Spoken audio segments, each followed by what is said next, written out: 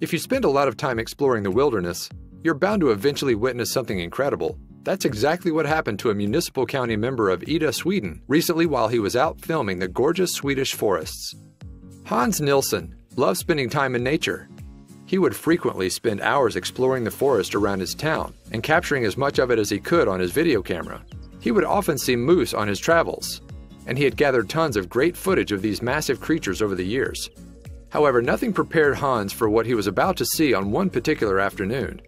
While out exploring, Hans came upon a scenic stream that ran through the hills. He decided to hang around and film the rippling water. And that's when he saw something that made his jaw hit the floor. It was a completely white moose. This was exactly the second day in a row Hans saw this particular moose. He didn't have his camera the first time, but this time he was ready.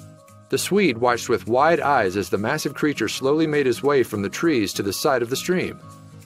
Hans had heard about albino moose, but he had never actually seen one in person.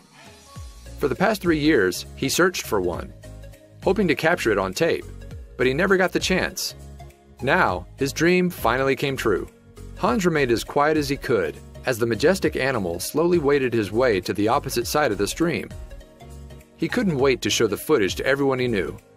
They wouldn't believe him if he didn't have the proof on tape. Sweden is home to roughly 400,000 moose, but only about 100 of them are white.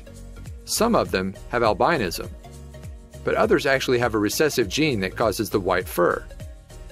Either way, Hans had caught something very special on tape. Once the moose finally arrived to the other side of the stream, he slowly climbed out and shook off the water.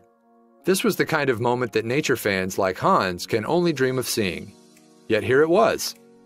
The elegant animal spent a few more minutes gnawing on some nearby plants before he slowly turned his head and looked directly at Hans.